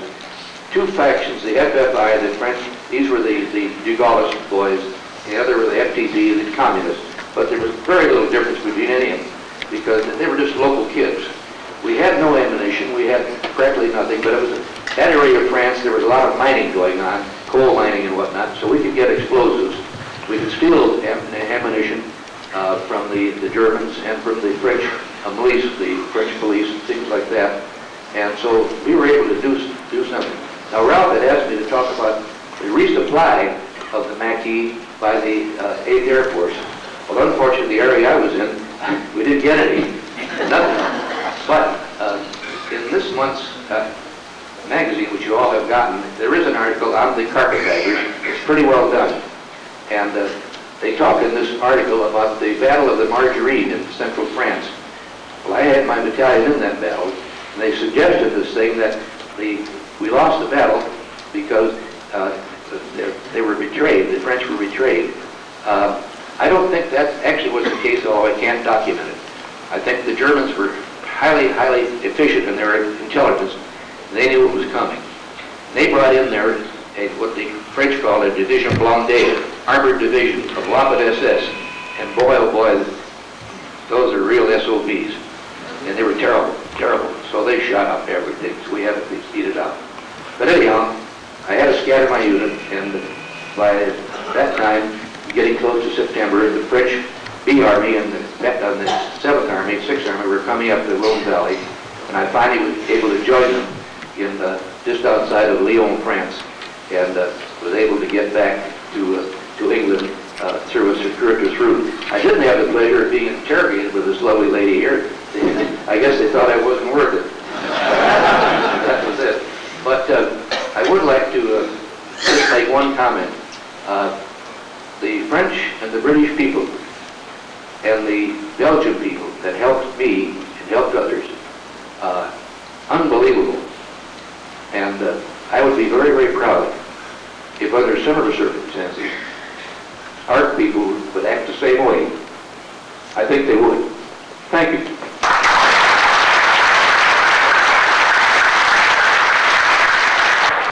Thank you, George. You mentioned interrogation, so let's turn now to Dorothy Smith. Can you tell us what it was like dealing with these young men when they returned to England? What did you learn and how did they behave? What it was like was exciting and very pleasant, and I, I, I feel dreadful being here, having lived a very safe, comfortable life all during the war. I started out with no one knowing why on earth I was there. Uh, I'd never worked for a newspaper, and everybody who was going over in this group had worked for a newspaper. I did speak some French, and I had gone to school in Europe, and nobody thought that was very important. And I found out toward the end of the war that of the five people he chose, I was one of the two that he got. Uh, I got there and went to work reorganizing the file. I'd been trained as a company commander, and the office was in chaos. And I put that in order and found all the correspondence with French Underground. So I translated that and turned that in. And uh, we got casualty lists every day, the day after. Very garbled lists. And Major Nelson looked, looked at them and he finally, we didn't know what to do with. And finally he started throwing them across the table at me and saying, you have to organize things, do what you want with these. I didn't know what to do with them Oh, but it was the Air Force that had gone down the day before. So I'd start, and they went off to play, play darts before lunch, and I don't play darts. I, I, as a tribute to the boys, I started reading these lists aloud every day as a tribute to them as best I could, because it was a real mess. Smith could be spelled with two Q's and a Z. And at the end out, it, it, it was really uh, awful. But in the end, from those, I had a phenomenal memory, which I no longer have at that time. And I used to have, I, would say to the boys, I have an advantage over you, I have feminine intuition. And it was very good at somehow or other deciphering those lists. Whenever they were there was any message about any of the uh, men who were down or they were coming back and they wanted identification as to whether or not they were Americans or, or, or Germans and that sort of thing, that list became absolutely invaluable because I could look at a bunch of Q's and Z's, and I don't know how. I could say, sure, look, this is this, don't you see how this whole crew fits together? They went down together on that date. And they were ours. And twice I had to make the decision about uh, whether they, they were Americans or Germans with absolutely nothing. But the first one, no, because they'd gone down in North Africa, so nobody, they, they came from North Africa, they'd gone down south of France, so nobody in England knew anything about them. But I'd been struck by the fact that I didn't know anything about the outfit when, when the casualty list had come through. And uh, one of the names, which turned out not to be garbled, I thought was the most garbled of all, but I used to repeat them aloud to myself, you see. So when these came through, these were not Americans, I was able to one screech and say, hold everything, these are Americans, I know that they are. They flew out of North Africa, and they were. And last night, Mrs. David was able to, to let me know that their pilot was a member of the organization here. Uh, the, the other time when I just did it on Luck and a Prayer. I couldn't see how I could have all of those names almost right there together. But every time that they, the, the people in France thought they were Germans. And every time uh, that we'd tell them, ask them what they had for breakfast, because we knew exactly what they'd had for breakfast. They would always come back with the wrong answer, and they refused to change it. You couldn't convince them to. And I finally decided it was the right answer. And it was. A girlfriend had given them eggs, and they were the only ones in the outfit who had eggs for breakfast. But they thought we were very smart and intelligent, so we knew that they had eggs for breakfast, and that's the answer we wanted. It was not. But it worked. So that first half of, of the war was spent on interrogation. The second half, we went over to France, and it was to decide on what uh, recognition and compensation was to be given. And uh, they were going to try to, some people didn't want money, they had lots, but some people had suffered great hardships when they weren't in an organized line, you see, that could get money and that sort of thing. Also, what are we going to do for decorations? The French can give the Légion d'honneur a titre civil, so civilians can get it. And in England, they have the King's Orders we had military decorations, period. So think of the Air Force each year when the President gives out the Medal of Freedom. The Medal of Freedom and the Eisenhower Certificate of Appreciation came out of our office in France, working that out. And that was done so this country now has a decoration we can give for valor to civilians. And, and that was done. And, and that was in many ways maybe the most interesting thing. I had a lot of fun because we divided France into territories and I got Brittany. And Brittany, the terrain lends itself to a lot of fighting and there's a tremendous amount of resistance there. And of course Shelburne, where now I've been on that, uh, that um, cliff that you showed the picture of. That was the only time when, when I first went to Brittany, I, I went into the bus and I said, I don't own any slacks. Slacks came with our uniform. And I know that my French opposite number always wears slacks. He said, walk around my desk. So I walked around, and he said, stick to your skirt. And the only time I regretted it was when I went down that cliff. the only time I ever it. That I did that. But it was wonderful, and what was so fantastic at the, at the end of the war, when uh, the Americans liberated Dachau, that so many of the top people in the resistance are still alive and survived the heartbreak of, of the um, December when the Germans broke through. Battle of the Bulge. Because it looked as though they were in, invincible, and a lot of people, like my future husband, had seen all the craft lined up in England, and, and some, they even had a hard time getting, getting through the disappointment of that. But when we liberated Dachau, you know what all those prominent resistors had to do was to escape from the Americans because they had typhoid. And we quarantined them. And they all knew that if they lived there, if they stayed there, they'd die. They all went out back under the fence and they came to us in Paris. And so many of the people who had fighting spirit did live through It, it was fantastic. And it was time for people to get awards and decorations and get married and go home. It's the end of the war for me. Thank you, Dorothy. Now we'll go back to France again to Dr. Gabriel Nahas. Would you like to tell us your part in those difficult, dark days? My friends from the mighty 8th Air Force. About 50 years ago, I was a second year medical student in Toulouse, France. As a medical student, I was not drafted as all the fellows of my age. As,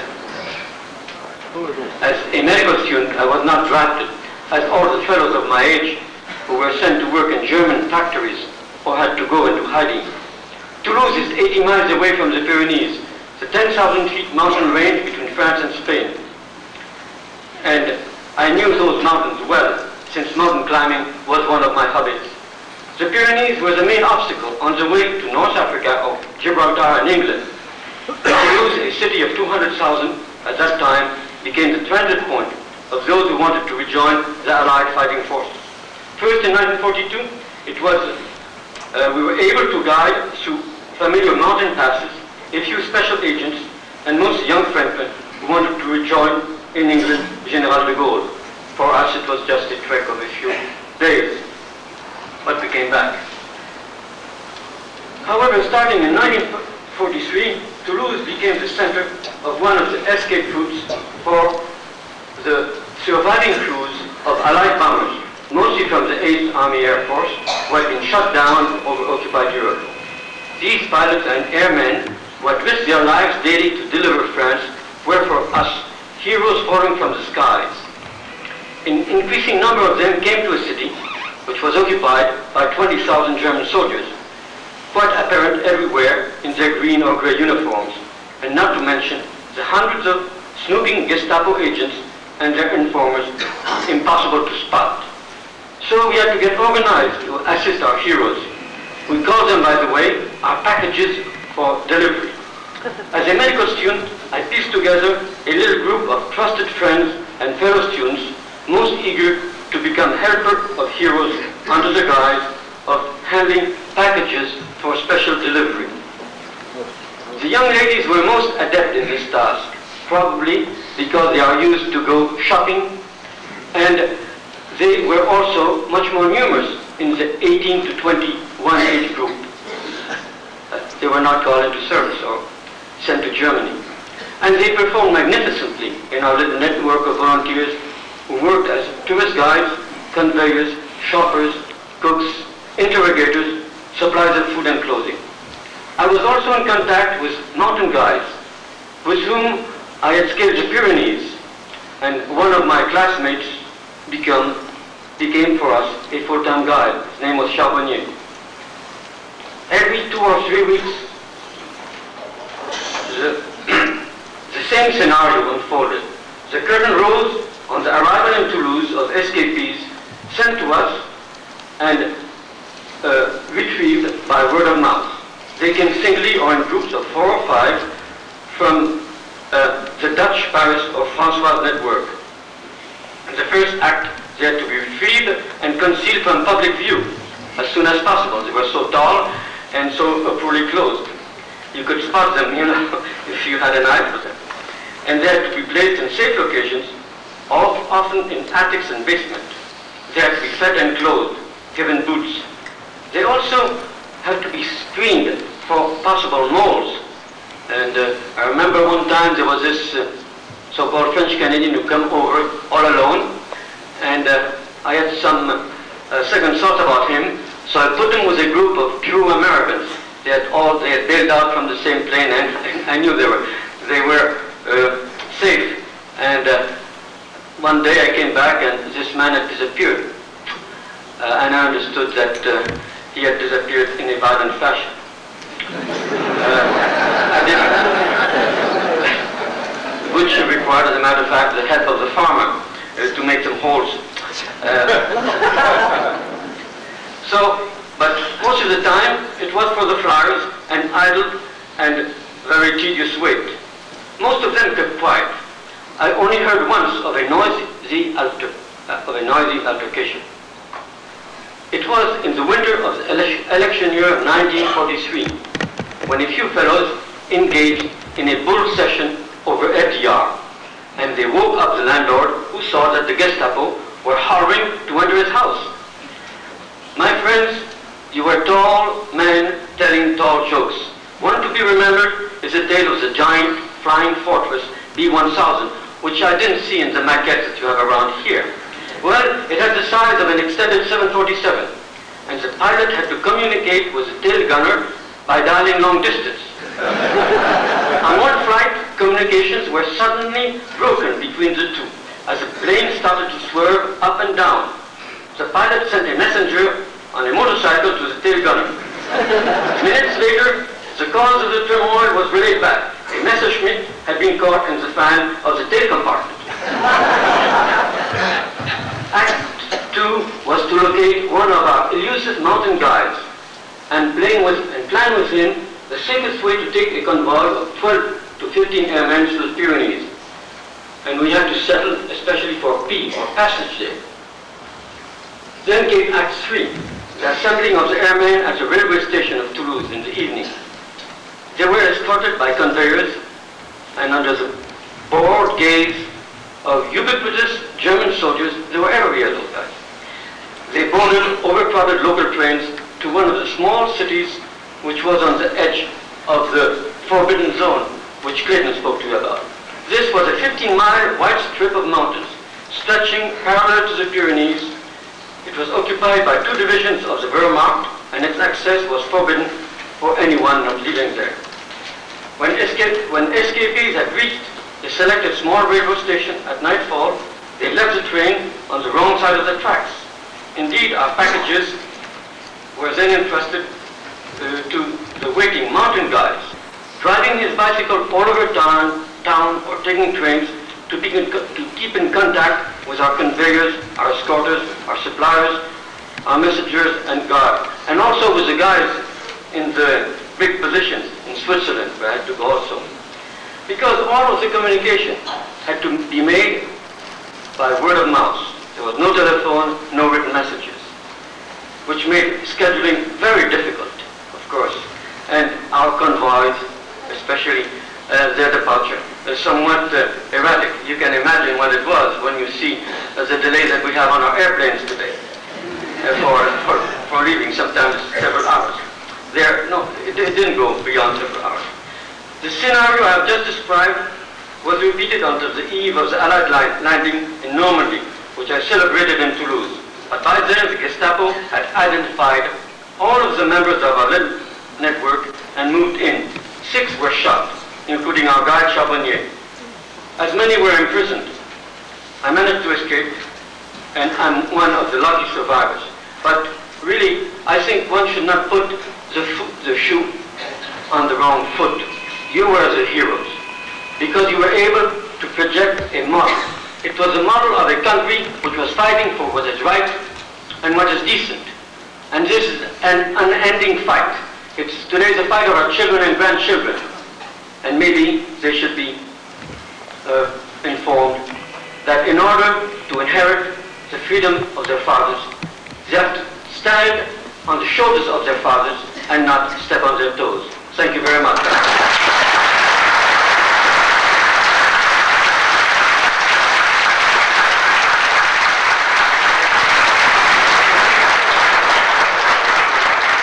I know that you agree with me those are very fine sentiment, true as they come.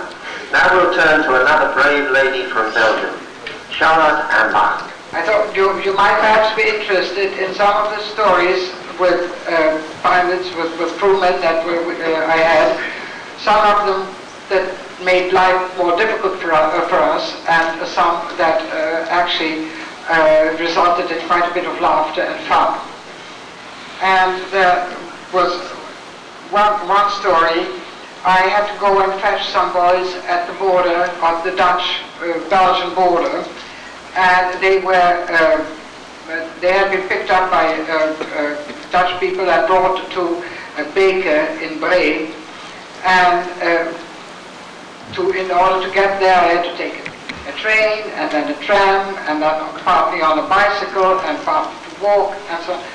And when I arrived, th- there were these four boys who had waited for quite a long time, and they gave me an absolutely fabulous, fabulous welcome. They hoisted me up on their shoulders and danced around with me, and, and they nearly brained me against the ceiling.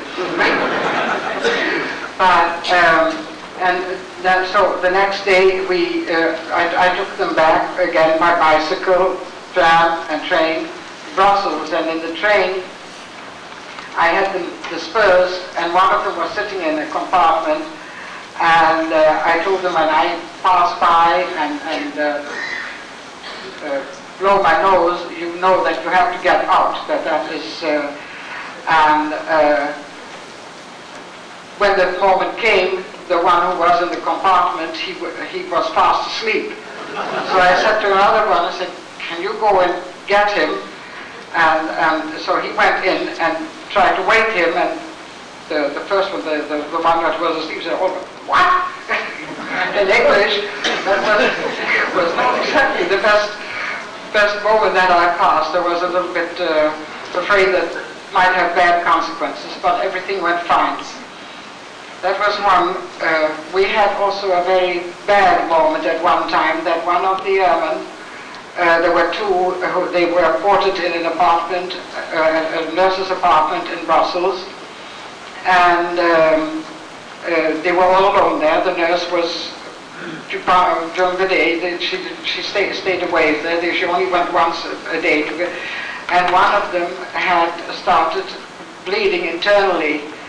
Uh, apparently, he had either had uh, a, a bleeding ulcer or a stomach rupture when the parachute, opening parachute, uh, jerked him up and, and, and something was wrong with him. We uh, didn't quite know what to do. The nurse, thank goodness, she knew a doctor who actually put himself in double jeopardy. Not only that he was going to was trying to help one of the airmen, but uh, he was also Jewish. So, as I say, he, but but he went there. He didn't couldn't do very much for him. He tried to do whatever he could because operating was, of course, out of the question. And uh, we were not quite sure how well this young man was going to fare or not. And we, of course, had to think of the possibility that he might die. And what then to do with the body? And uh, that was one of the very bad questions, and we just said, well, what we, the only thing what we can do is taking take him out, leave him somewhere in the street, and then go away and let him be found because we could not go to authorities or anything to, to tell them about it. But there was also another small incident that was very funny, and that was uh, uh, an American airman who was at least six foot, if not if not more, uh, tall, and he was terribly gung-ho. He he was fighting the war and really wanted to show that he was a fighter. And at a certain moment, from our apartment window, he saw two German officers pass by in the street down there. And we had the worst time keeping him from getting out of the apartment, running down and killing these German officers. he really wanted to continue the war. We told him that that was not the best idea to, to do it where, where he was at that time. Uh, and the, there was another one, and that also was, was very amusing. Uh, again, we had four boys, and one of them had a fairly big parcel under his arm, wrapped up in brown paper, and uh, he wouldn't let that parcel out of his sight. And he was very worried, and that must have been terribly, terribly precious to him. And finally, we, we were very curious about it, and, and, and finally we couldn't stand it anymore. We asked, but what is in that parcel? The, the farmer who had picked him up had given him some wooden shoes, some gloves, Dutch wooden shoes. that was in that parcel.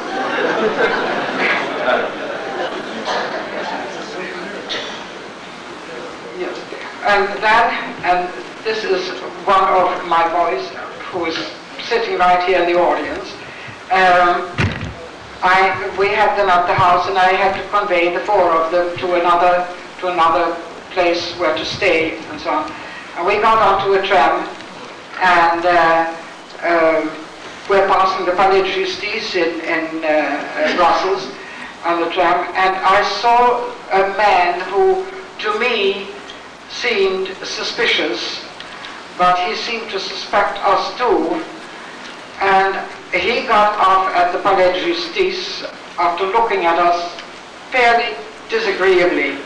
And I said to the four boys, out we go, the right, the, state, the, the stop after that, we went out. And then I took them through all kinds of small streets, so, so that we wouldn't be followed. Uh, in order, and then finally we got onto a tram again and got to, to another, to the, to the destination. That is, uh, well, I think that is about the stories I have here. And I also want to say there's one sound and one thing that I shall not ever, ever forget, and that is the vroom, vroom, vroom of the fleets of the big bombers coming over. And the gratefulness when we had them, it was like angels flying over. And thank you all very, very much.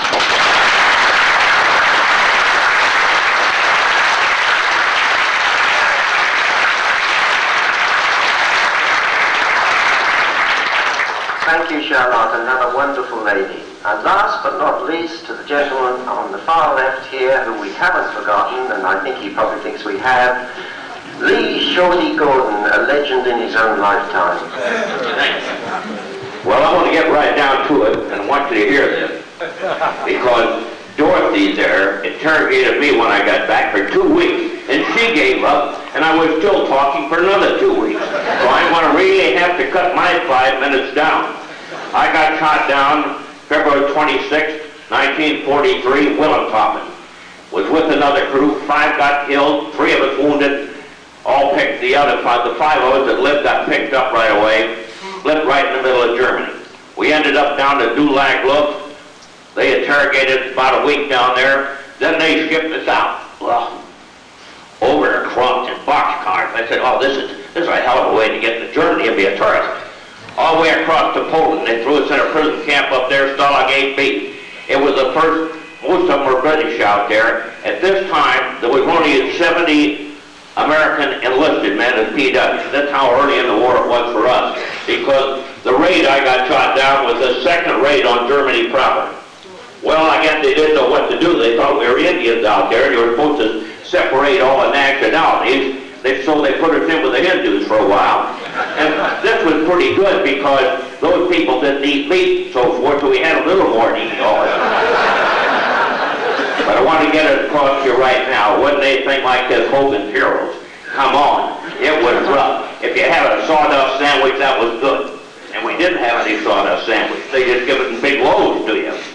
Well, they finally decided to ship us out of there and start an American camp. The first uh, camp for enlisted men, it was Stalag 7A at Moosburg. Well, some of them decided to make a break. Well, we didn't know much about it. We figured all we had to do was just get away from the Germans and we were on our way. That was just a start. Well, we started across Germany. We got over near Czechoslovakia. And the train, we, what happened is we had 50 of us in a boxcar. You ought to try that 50 guys riding in a boxcar. You sit on top of each other's heads. And they decided they didn't want to let us go out to go to the toilet once in a while, so what would you do? Over your shoulder, right? It was rough. Let's face it. Well, we didn't like that boxcar so bad, so eight of us decided to make a break. We got the uh, door of the boxcar open when that train was going up, going up a, a steep grade. We jumped off the train. Well, you ought to try to jump off a train going 40 miles an hour. Wow, there was plenty of excitement there. The other fellow was Arnold Schultz in New York. He and I decided to team up, but we started to jump, and there was a big ravine there, so we had to hold up for a minute. This was the middle of the night. Well, eight of us got off there all right. We didn't get shot. The other guy said, oh, we're going to escape with us. They're liable to shoot us. And they said, well, you got a chance to go with us. Why get shot? Well, we got out, we were only walking around here about two days, we didn't know what to do, you know, you just, when you end up in a foreign country, you can't speak the language and everything, you think you're gonna walk out of the country. But it's six or seven hundred miles across Germany, a long way anyway. Well, we got caught, we were walking through this small town, and the police got us, and one part that I, I do want to tell you, I want to take a drink of water, because it did make my mouth dry. It was plenty dry. The fellow I was with was a Jewish fellow from New York, Bernard Schultz. And they got us in this, the German police picked us up first, and they took us into a sort of a Nazi gathering. And they all had their armbands on with swastikas, and I'm saying to myself, I'm in trouble. And about that time, over in the corner, they were all running in, piling each other like a bunch of idiots. And they took Saltz over on the side. The next thing, Saltz threw his hands up in his air. And I thought, uh-oh, what are they doing with him? They pulled out a Luger and stuck it in his back. And rump, rump, Saltz marched out. Man, my knees are shaking by this time. I figured, whoa, he's going to get it because they looked at our dog tags and saw they were Jewish. And I heard them out say, Jew. That's when he whipped out this revolver. I said, he's first, I'm next. Well, here comes Saltz walking back in. And I said, where, where did you go? He said, oh, I had to go to the toilet. I said, I did too, but I didn't go out.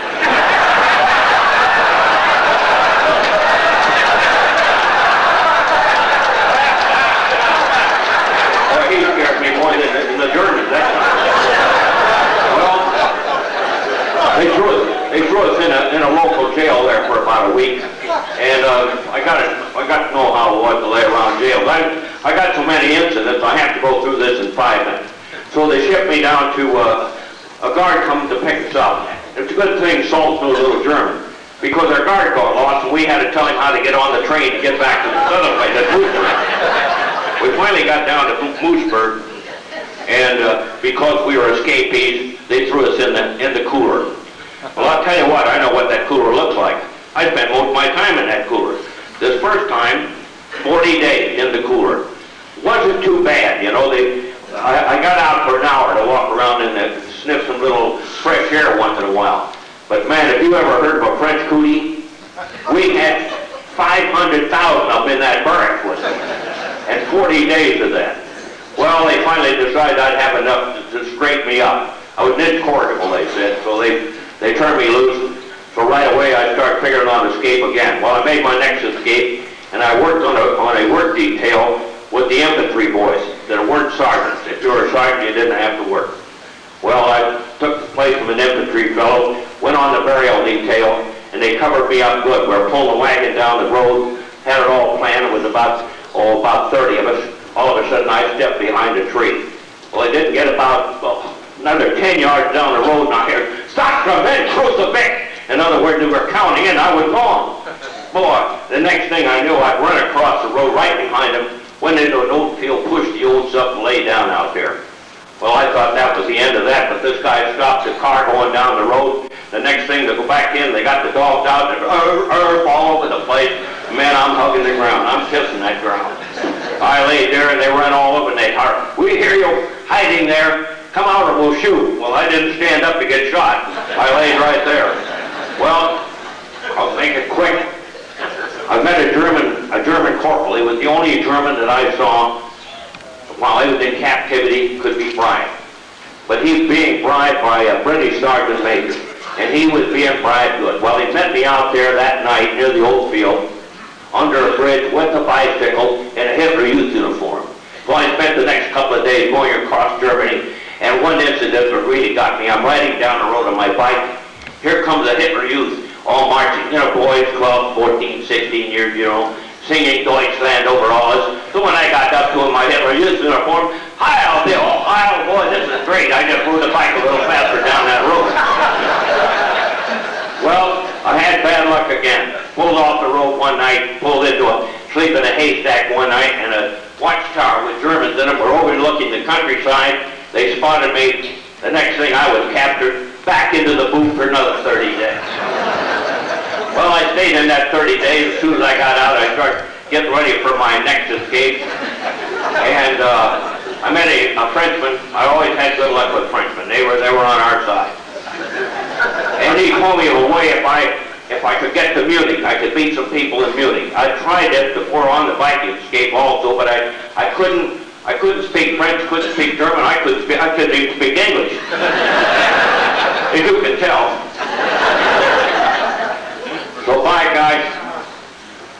I got out of camp again. I, I can't go into how I got out of camp. So I used to just walk in and out like every Hogan's Heroes, huh? Let's face it. Anyway, I got out of camp, got back to, got into Munich. After about two weeks hiding out in uh, French commandos, they called them, people, French people and, and foreign people that had to work for the Germans, they were hiding me out in these barracks. The only interesting thing, one place was raided. I was hanging out with some uh, Yugoslavians, and uh, I was tipped off I was going to be raiding. So they told me, oh, go over to this other barracks, and I had to go over there and sleep with 20 French girls. Oh, wow.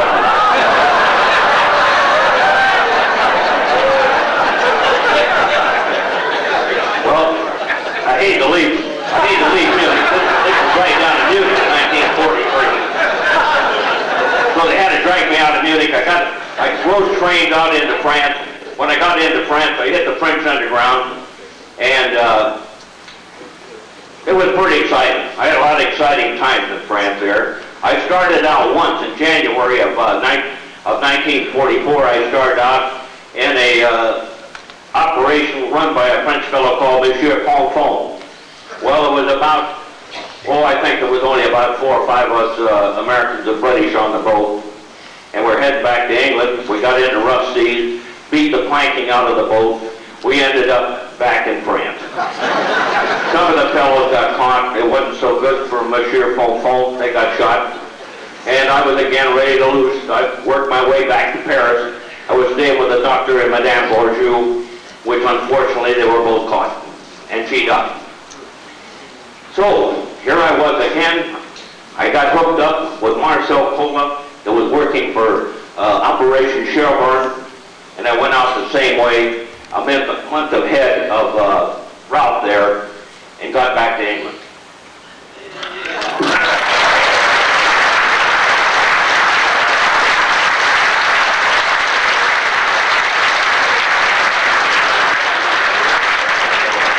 Before we open the meeting for questions, I'm going to go back to George Van Remmerden because we did only give him four minutes and he tells me that he has another amusing tale. So, George, if you can tell us uh, a fairly short amusing tale of your experiences, we're very pleased to listen. Uh, I hope you remember my little story how we took the people out of that hospital in Utrecht and one day we took the wrong road and ended up on the main road to Arnhem. So I made it back, we found the Dutchman again, but to prove how lucky we were, sometimes not only guts and not only intelligence or whatever it was, but it needed it to get away with the things we did. The next day I found out that on the way, on the road we took, normally took through the uh, farmland, the Germans that day had a checkpoint and everybody that we by there were checked. So if we hadn't got lost in Utrecht that day, I don't think it would be here now. So uh, just to prove how lucky we were. Uh, I think you all know what luck meant during the time that you were out there. Thank you. That's all.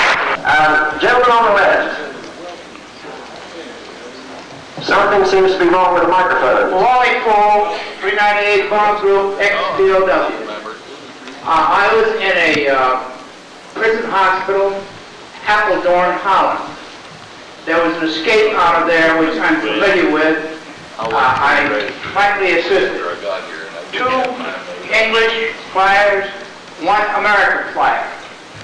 This occurred the last part of January 1945. I'm wondering what source I can go to or if there's anything I can find out about the success or the failure of that three-man escape.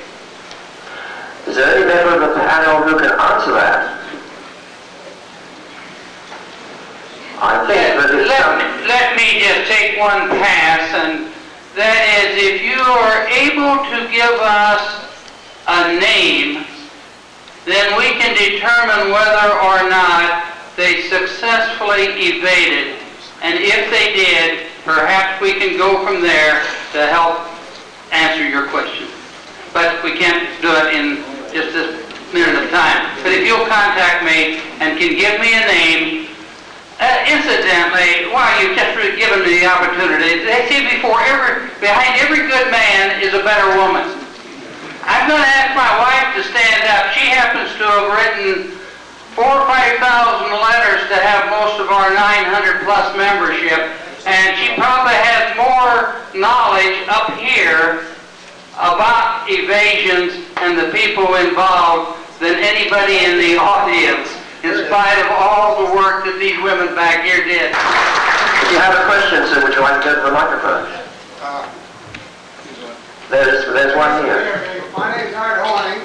We're back in business here. All I- I'd like to know, is that list going to be published and available to other members of the agency? Number two, Bobby, will you please help us with how you got captured? Uh, Yes, I can. Uh, I was waiting at the station, the North Station in Brussels for the Dutch passeur the, the, uh, to, to bring uh, uh, one or two airmen over um, from Holland and to take them. And uh, he was apparently already, this passeur was already taken, taken in a in Malines, Mechelen.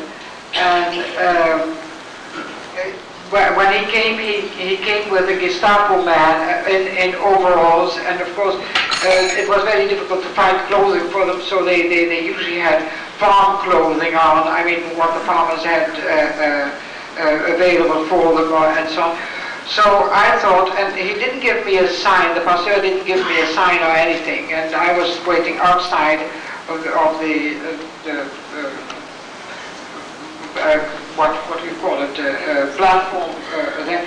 And um, all of a sudden they came out and I saw a revolver under my nose and uh, Hände hoch. And so I was standing there and then I was taken to, to Antwerp and was uh, interro- interrogated there uh, for, for the night. And then I was brought to the um, uh, barracks of the Chateau de Laken and I stayed there for about fully two months. And then uh, uh, I was I went to the prison of Saint-Gilles in Brussels, and from there, eventually, after having been condemned to death, I was uh, transported to Germany, where I went to several prisons, and I was liberated by the Russians, which I'm still very grateful for, for always.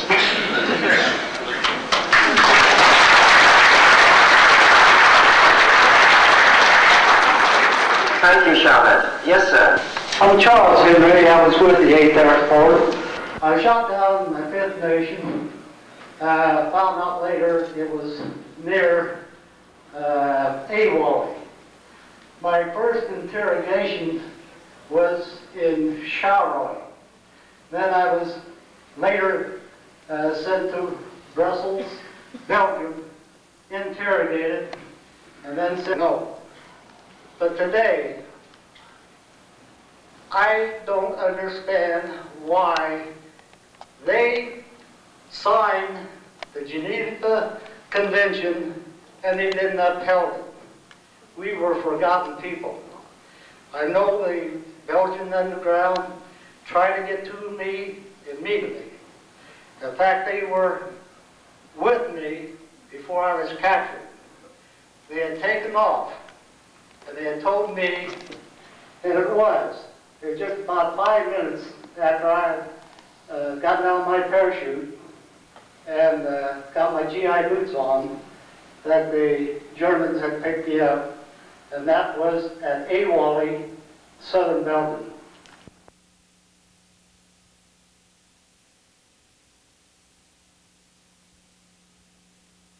My father was German, so I was born a German. And uh, uh, my mother being Dutch, I was born in Holland myself, so I had, uh, in, in a way, I had a double nationality.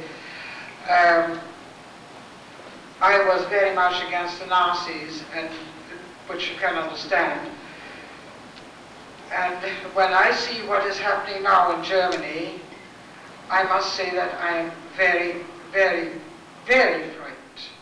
And I hope that something can be done against it, that the German government will do something in order to quell the, the new uprising of the Nazis there. Thank you, Shannon. Ask us how we think about the Germans now. I was telling you a little while ago how lucky we were sometimes and how I lucked that day. But five days before the war ended, my luck ran out too and I was arrested by the Gestapo by the name of a guy by the name of Cunard, who later escaped to Paraguay, but otherwise he would have been sentenced to death. He was a Gestapo guy. And they beat the hell out of me for five days every three hours. Uh, they wanted to know where we had the weapons hidden because they were afraid that it was all over, that we would kill as many as them uh, we could. Anyway, I didn't tell them where the weapons were, and that's why they keep beating me. So, uh, the last day I was transported to a jail in Utrecht, and I thought I was going to be shot there.